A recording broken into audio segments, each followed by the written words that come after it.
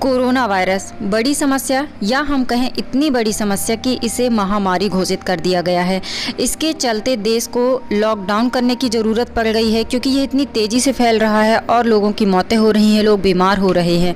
Corona virus के चलते आपने अपने आसपास के अधिकांश लोगों को चेहरे पर मास्क लगाकर देखा होगा।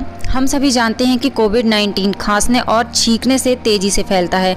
इसलिए डब्ल्यू यानी कि वर्ल्ड हेल्थ ऑर्गेनाइजेशन ने भी चेहरे पर मास्क लगाने की हिदायत दी है। मास्क यदि आप सही तरीके से इस्तेमाल करते हैं तो इसके प्रभाव से आप कोरोना वायरस से काफ़ी हद तक बच सकते हैं।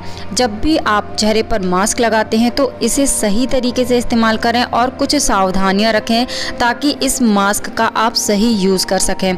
जब भी घर से बाहर निकलें, बिना मास्क पहने बिल्कुल ना निकलें।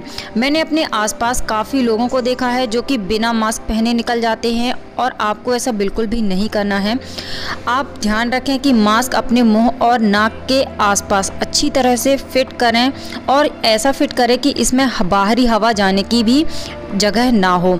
मास्क आप सारा दिन पहन कर रखें और जब आप इसे पहने हुए होते हैं तो अपने चेहरे को और मास्क को बार बार छूने से बचें। आप सस्ते और बेकार मास्क नहीं खरीदें। जब मास्क खरीदते हैं तो इन पर मेडिकल की एन नाइनटीन फाइव और एफ़ एफ़ पी टू जैसी रेटिंग होनी चाहिए, तभी आप इस खतरनाक वायरस के संक्रमण से बच सकते हैं।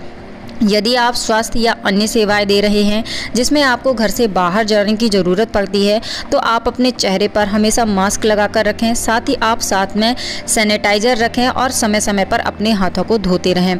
मास्क लगाते समय और खोलते समय उसके प्लीट को नीचे की तरफ़ से खोलें और नीचे की तरफ़ से ही लगाएँ। मास्क को आपको हर छः से सात घंटे में बदलते रहना है। रेगुलर लगाकर यदि आप उसे पहनते हैं और वह गीला हो जाता है तो आपको इसे हर छः से सात घंटे में बदलना है। यदि आप डिस्पोजेबल मास्क यूज़ कर रहे हैं तो एक बार यूज़ करने के बाद आप इसे दोबारा यूज़ नहीं करें। मास्क यूज़ करने के बाद हमेशा आप इसे डस्टबिन में ही डालें इधर उधर आप इसे नहीं फेंकें। तो फ्रेंड्स ये सावधानियाँ आपको ज़रूर रखना है, यदि आप चेहरे पर मास्क लगाते हैं। उम्मीद करती हूँ कि यह जानकारी आपको पसंद आई होगी। इसी तरह की और इन्फॉर्मेशन के लिए आप नीचे दिए रेड कलर के सब्सक्राइब बटन पर क्लिक ज़रूर कीजिए।